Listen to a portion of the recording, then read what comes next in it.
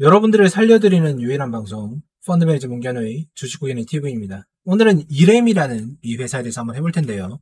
오늘 30%의 상한가를 간 종목이고 시가총액이 500억 원이죠. 그죠? 그러면서 매출액 보면은 뭐 그렇게 나빠 보이진 않지만 매출액 대비해서 영업이익률이 거의 없다. 그리고 최근 분기에는 오히려 적자까지 이어지고 있기 때문에 한계 기업으로 가고 있다라는 사실 아직까지는 변함없고요. 그 다음에 보시면 부채 비율이 상당히 높아지면서 자본 잠식 우려까지도 진행이 되고 있는 그런 상황이다.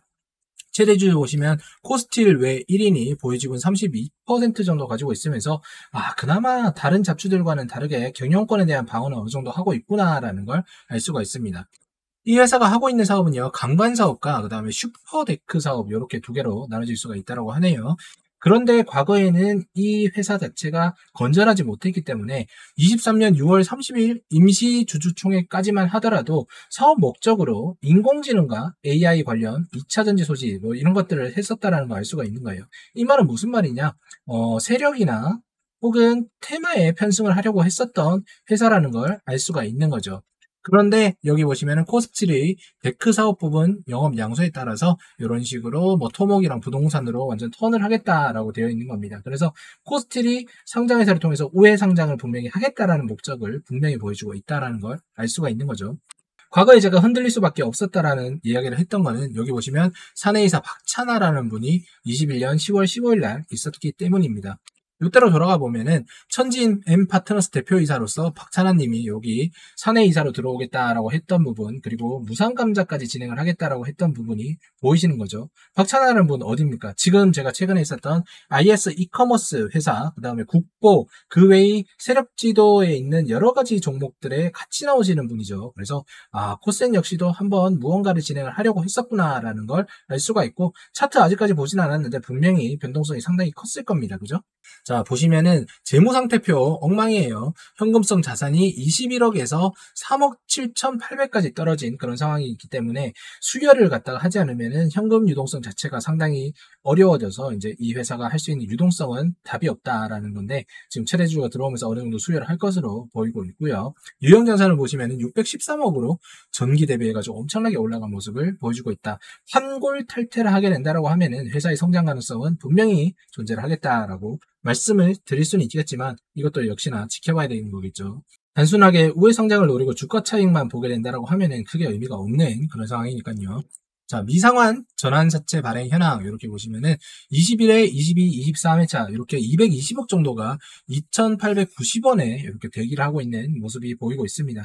그렇기 때문에 이거 이상 주가가 올라가게 된다라고 하면은 전환사채 물량에 대한 오버행도 분명히 생각을 해봐야 될 부분인 건데 지금 상황에서는 어쨌든 간에 코스틸과 지금 이 이렘이라는 곳이 두 개가 살아남기 위해서 주가나 그 다음에 어, 회사의 매출액은 분명히 올리려고 하는 부분이 보인다라고 생각이 되고 있고요. 보시면 사업부 자체도 강간사업부와 데크산업부에 어느 정도 그 경험이 있는 인력들이 남아있는 것을 아실 수가 있는 상황인 거죠.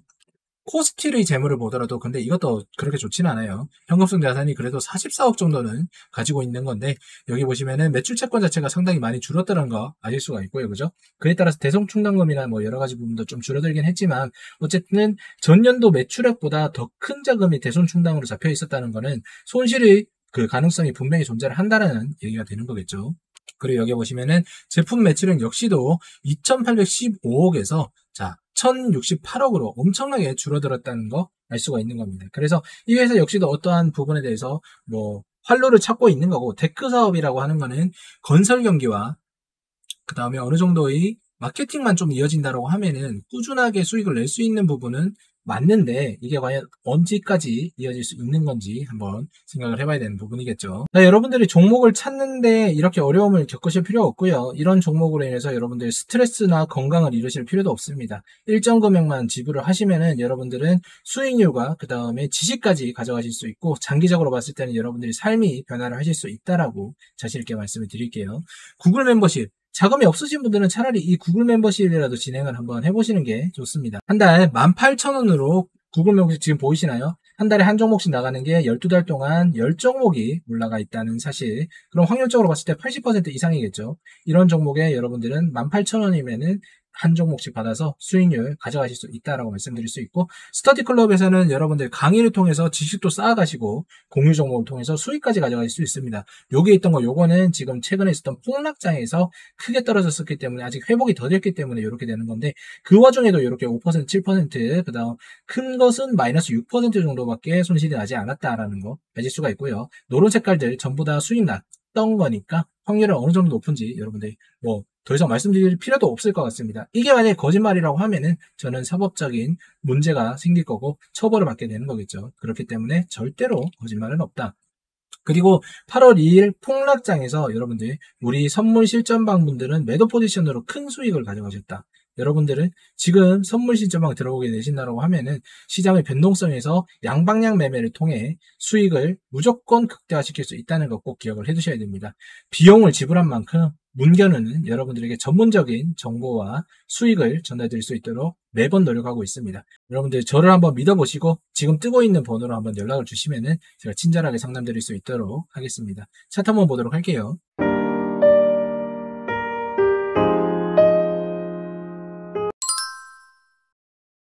자, 이램 차트를 한번 보면은, 와, 이거 진짜 여기 동전주 되기 직전에 올라온 그런 모습 볼 수가 있어요. 어쨌든 여기 상한가를 한번 찍었지만 이 구간대에 있는 매물대를 뛰어넘기에는 아직도 부족하다. 내일 어떠한 슈팅이 좀 더 나오지 않는다라고 하면은 상당히 힘들어지는 그런 상황이겠죠. 자, 뒤로 조금만 돌려보면은 와, 이건 아무것도 아닙니다. 그죠? 여기에 오랜 기간 동안 거래 정지가 되어 있었던 그런 기간도 있고요. 여기 보시면 6천원인 때가 작년인데 작년에 벌써 이렇게 쭉 내려와가지고 천 얼마로 떨어졌다. 그럼 여기에 대한 손실도 거의 한 80% 이상 진행된 게 아닌가라고 생각을 할 수가 있겠죠. 우리 구간대를 한번 보도록 합시다. 와 여기 보시면 이 높은 구간이 이렇게 있는데 여기에서 우리는 보고 있다. 근데 뒤로 조금만 더 돌려볼게요. 더 돌려보면 아예 보이지도 않아요. 그죠? 와, 진짜 이게 말이 됩니까, 여러분들? 여러분들 이런 거래 정지를 지나서도 이런 종목을 사셨다. 그 전에 사셨던 분들은 이 기간을 갖다 다 버텨내신 거 아닙니까? 그죠? 요거, 이게 끝이 아닙니다. 이거 뒤로 보세요. 뒤로 보면 아예 이거 보이지도 않아요. 와, 아까 그 높아 보였던 그 산이 여기에 머물러 있는 거 아실 수가 있고, 자, 조금 더 보면은, 자, 요 두 번째 산도 있고요. 그죠? 요 끝산, 요렇게 있는 거. 여기가 지금 96만 1633원입니다. 96만 1634원에서 주가가 1635원으로 떨어졌다. 이 기간 동안 수많은 개미들의 피눈물이 있었다는 얘기가 되는 거고 지금 요 구간에 계신 분들도 분명히 피눈물을 흘리고 계시고 있겠죠. 이런 정보도 절대 하지 말라고 제가 말씀드리는 겁니다. 차라리 여러분들 학원비 정도만 내시면은 제가 그냥 다 해드려요.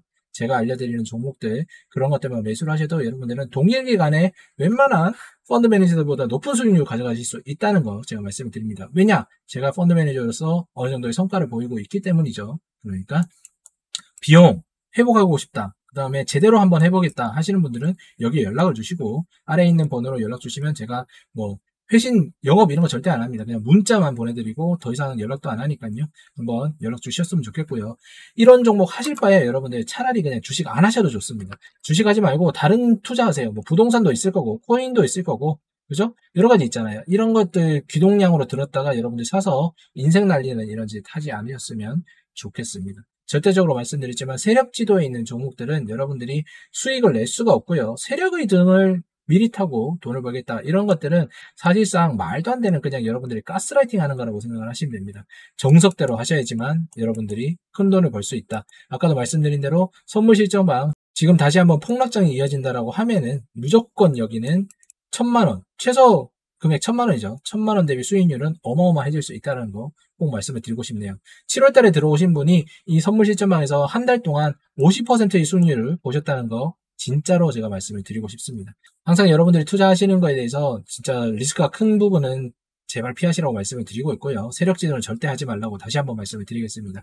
저는 다음번에 있는 세력지도 영상이 있으면 다시 한번 분석 자료로 들고 오도록 할게요. 구독, 좋아요 한번 눌러주시면 감사하겠습니다. 저는 다음 영상에서 찾아뵙겠습니다.